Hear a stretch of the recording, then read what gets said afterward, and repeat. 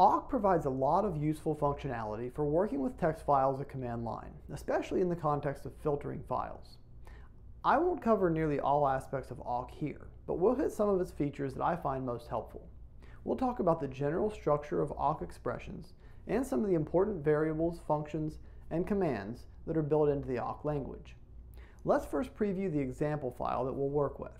In this case, it's a tab-delimited text file with five columns and a thousand rows of data. The columns include a generic sample name for each sample, US state name abbreviations, months, and then two columns of measurements. I generated these data by sampling randomly from defined distributions, so they don't have any real meaning beyond serving as an example for using awk. You can download the data file from the link pasted in a comment pinned to this video if you want to use it to follow along. While the file has a matrix-like row by column structure, that format is not absolutely necessary, and awk can work with any plain text file. Let's start looking at the structure of an awk statement, and initially think of it as having three parts, and then we'll build on those a bit more as we go along. The first of the three is simply the awk command itself. The second is bounded by a set of single quotes and consists of one or more actions that will be performed, each of which is enclosed in curly brackets. The third section is the name of the file you're going to apply any actions to. So for our three sections, two are really straightforward, the awk command itself and the name of the file to work on. The action block in the middle is where there are a number of options, so we'll focus most of our attention there. Let's start with what's, at least for me, probably the most widely used function in awk, print. On the command line, we start with awk, followed by a single quote that indicates the beginning of the action block and then we define the specific action in curly brackets. Here, print, and then close the action block with another single quote. We'll apply this to the file test awkdata.txt, and I'm going to pipe the results to the head function so that it just returns the first five lines of the output. In this case, the output looks just like the first five lines of the original file. Awk opened the file and started reading down through it one line at a time and for each line it performed the action, which in this case was simply to print the line. In practice, that probably won't be all that useful, but let's extend it by taking advantage of some positional variables that are built into awk. These each start with a dollar sign, they're numbered sequentially, and they correspond to the different fields in each line of text that awk reads. Here, I've added two positional variables, separated with a comma, that limit the output of the print function to just columns 1 and 3. Let's extend this action block a little further. We can add a conditional statement to limit the output to just certain lines. There are several ways to do this, but maybe the most intuitive is with an if statement. Here, I'm restricting the action to only apply to lines for which the third field, the month, is January, and I'm printing the third, second, and fourth fields in that order. Likewise, we can filter for entries where the measure2 column is greater than or equal to 70. Notice the header line gets printed this time, which means awk is interpreting the string measure2, which is the fifth field of the first line, to be greater than 70. I think what's happening here is that measure2 and 70 are being compared as strings, and the sequence of alphanumeric characters goes from numbers to capital letters to lowercase letters.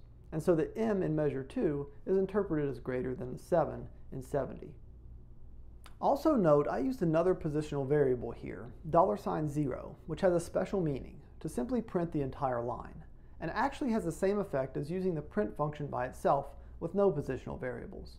However, note that there is a slight difference in using the dollar sign $0 variable versus indicating each of the fields individually, as I'm doing here with dollar sign $1 through dollar sign $5.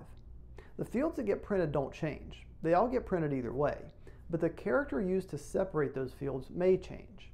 With the dollar sign zero notation, the fields in the output will be separated with whatever is used in the original file, while when the fields are specified individually, the output fields will be separated with whatever the output field separator variable in awk is set to.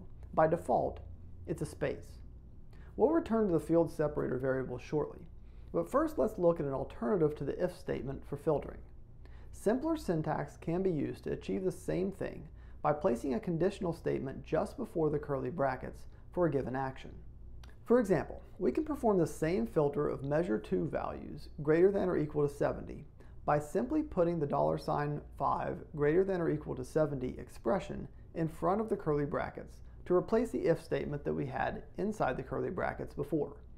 While we're looking at conditionals in front of the curly brackets, it's a good time to consider two special variables that are built into awk, begin and end. Remember that awk will read through a file one line at a time and will perform any specified actions on each line. However, you can also define actions that are executed prior to the first line being read or after the last line is read, using the begin or end variables respectively. Let's look at these in the context of two other important variables that came up earlier, the field separator, which is denoted fs, and the output field separator, which is denoted OFS. Here, I'm adding a second action block that changes the value of the output field separator from the default, which is a space, to a comma. I'll use the begin variable to indicate that this variable should be set prior to the first line of the file being read. In this case, the output would be the same if, if the begin statement was left off, though behind the scenes, what happens is a little different. Is if it's left off, the output field separator would repeatedly be set to comma each time a new line is read, instead of just a single time before the first line of the file gets read. We could also use the begin statement to print a new line of text at the beginning of the file. For example, let's say we wanted to add a line at the top of the file to record the date that we were doing the work.